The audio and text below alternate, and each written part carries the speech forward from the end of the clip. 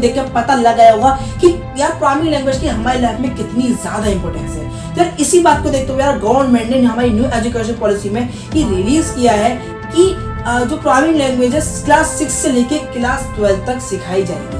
यार इसी बात को देखते हुए हमारी सीबीएसई सीबीएसई बोर्ड ने भी एक ऐसी लैंग्वेज कंपलसरी कर दी है कि आपको पढ़नी है। बहुत सारी लैंग्वेज है हमारे पास। सी सी लैंग्वेज है सी प्लस प्लस लैंग्वेज है पाइथन लैंग्वेज है सी शार्प लैंग्वेज है, बहुत सारी लैंग्वेजेस है। तो इसमें कौन सी ऐसी लैंग्वेज जो आपको सीखनी है? क्लास सिक्स से लेकर क्लास ट्वेल्व तक। वो इस थोड़ी देर में इस वीडियो में बात करने वाला हूँ। और हम बात करेंगे उस लैंग्वेज की क्या इंपॉर्टेंस है प्रोग्रामिंग लैंग्वेज हम क्यों सीख रहे हैं?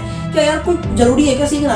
तो वो हम सर इस वीडियो बात करने वाले हैं। और उसी लैंग्वेज में यार मैं इस वीडियो, आज की वीडियो बात करूँगी इसकी इंपॉर्टेंस क्या है, क्यों हम सीख रहे हैं, कैसे आपको कंटेंट मिलने वाले हैं हमारे इस चैनल पे। यार हम इसकी पाइथन लैंग्वेज की पूरी सीरीज़ स्टार्ट कर रहे हैं। आपको हमारे इस चैनल पर पाइथन लैंग्वेज के सारे ट्यूटोरियल मिलने वाले हैं।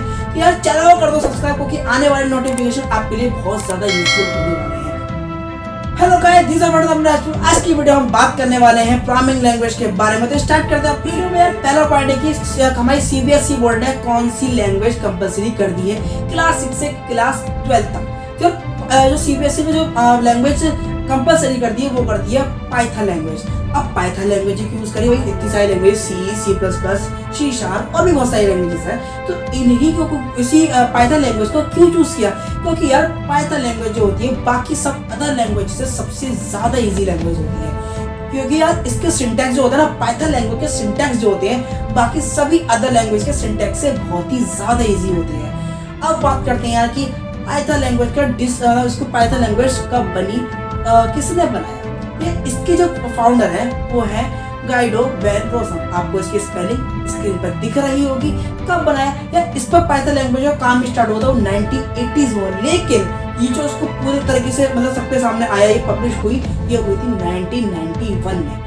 अब बात करते हैं यार कि हम प्रोग्रामिंग लैंग्वेज की क्या इंपॉर्टेंस है? पाइथन लैंग्वेज की खासकर क्या इंपॉर्टेंस है?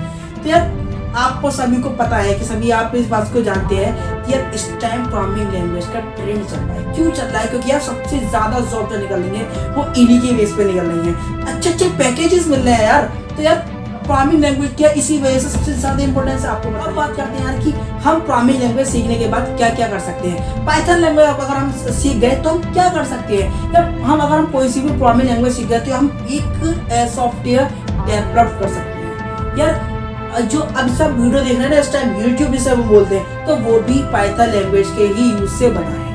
और जितनी पॉपुलर ऐप होती है, जैसे कि हम जितनी भी हमारे एंड्रॉइड ऐप होते हैं, खासकर हम हमारे फ़ोन में ऐप्स होते हैं ना, वो भी पाइथन लैंग्वेज के द्वारा बने ही होते हैं। बहुत सारे लैंग्वेज होते हैं, उनकी सभी बने भी होते हैं, लेकिन कुछ ना कुछ का सिंटेक्स डले होते हैं। और जैसे फेसबुक है गूगल एक्सप्लोरर है गूगल सर्च इंजन जो होता है, वो भी पाइथन लैंग्वेज से ही बने हैं।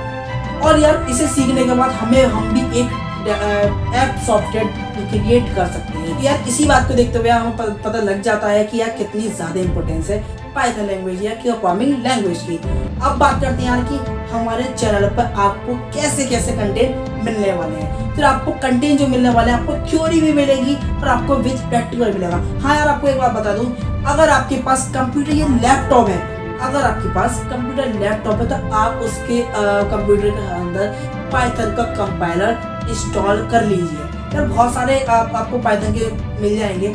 अगर आप यूट्यूब पर डाल के डालेंगे तो how to download Python software तो आपको बहुत सारी वीडियोस यूट्यूब पर मिल जाएगी। मैं भी पॉसिबल मैं भी डाल सकता हूँ, लेकिन मुझे टाइम मिलता तो मैं डाल दूँगा। हाँ यार आपको ऑनलाइन भी कंपाइलर मिल जाते हैं। अगर आप गूगल पे भी डालेंगे ऑनलाइन कंपाइलर तो आपको कंपाइलर मिल जाएगा।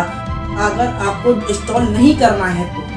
और यार हाँ और भी यार अगर आपके पास कुछ लोगों के पास हो, होते भी हैं लेकिन कुछ लोगों के पास नहीं होते हैं तो आपको डरने की ज़रूरत नहीं है क्योंकि मैं आपको विद प्रैक्टिकल आपको देने वाला हूँ वीडियोस आपको डेस्कटॉप की रिकॉर्डिंग करके देने वाला हूँ वीडियोस आपको डरने की ज़रूरत नहीं है।